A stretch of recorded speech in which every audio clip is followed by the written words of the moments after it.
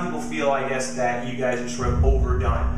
Yeah. Uh, how do you feel about that that critique? Do you agree? Do you disagree? Do you think people are just bashing? Like, what is like overdone. I, you know what it is? It's it's our style. Like I watch.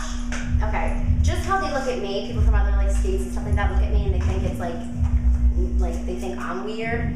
But like I watch these TV shows. I watch these reality shows. I watch like you know like those MTV shows like ne- like Next and Date My Mom and all that stuff like that. I'm watching these shows and I watch. on that one, by the way? I'm just- no, no, she's Because I'm not. looking and she's I'm, I'm all over that. You're on. I just My wanted to mom's check. pretty hot actually.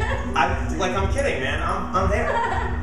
You before by the time this my thing's mom's over, actually more petite you than are I am. My mom's in better shape. My mom has guns and like a six pack. I don't know what the hell goes on. Just I'm just saying, don't be shocked if after you go home you find me with your mom. I just I want to apologize for that in advance. I just can't resist her, and I'm gonna make it happen. It's, that's Okay, my that's dream. we all have a dream. That's mine. My mom, oh god, you. So uh, Um, but like no, I watch these shows that like I look at these girls and they they go on shows in tank tops and flip flops and jeans, and I'm like, um, I would never show myself on national television like that. Like you're going on TV, like hello, you better pick out, you better like spend a couple weeks planning, picking out like the perfect outfit for your like TV debut, you know? Like I, that's just like they look at me weird. I'm gonna take. By the way, I'll take note of that for myself. I should be doing that when I do these interviews. No, you look, Um, very snazzy. Thank you. That's Wow. Well, now you've just this interview's over. Um, uh, uh, uh, well, that's. I'm glad you think so because I was going to ask uh, the whole uh, Jerseylicious. If you had to define oh. Jerseylicious, Yeah. What does that mean to you? Uh, that's question number one. Let's go with that. Okay. Well, Jerseylicious, this is what okay, this is what it means to me. Just kind of how like the gum is bubblicious. the gum you can blow bubbles with it because it's gum obviously and it's And what, licious. what can you guys blow? Bootylicious. What? Licious just kind of like licious means like you're full of something or like you you're just like all about that something. And so that you had to like when you add the prefix, like it, it changes like bootylicious, bubblicious, jerseylicious. We're from Jersey. We're all about Jersey. We're very Jersey, like Jerseylicious. All right. Well, I'm from Jersey, and I can tell you that I'm I am full of it. So I clearly fit that qualification, which is good. I was going to ask you if I fit that. No, So you definitely do. I'm Jersey. Very Jerseylicious. Uh, thank you. Uh, all right. Let's talk You about. have you have the Jerseylicious stamp of approval. Uh, thank you very much. you know, uh, I appreciate that because without that, I can't get into any clubs. And the Jersey Uh, stamp of approval is a huge uh, is there- spot of is there- bronzer on your forehead.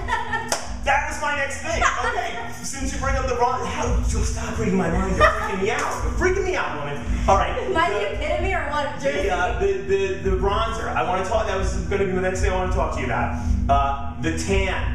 I want to know: uh, is it you know is it natural? Is it not natural? Is there a percentage? That is it like you got like forty percent natural suntan. You got the like what? How does this all break down? Break it down. Well, for everybody, it's different. Some people like to spray tan. Some people like to lay in the bed.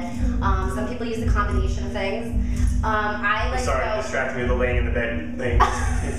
Keep I like to. Lay, I like. Whoa. I like to. I like to go with tanning bed. You like to lay in the bed? Is that what you were just going? tanning bed. This I, Or stand up. You are. Didn't see now. I understand why you wanted the show because you are compelling. Okay. Uh, or wait. Or, or what was the other alternative?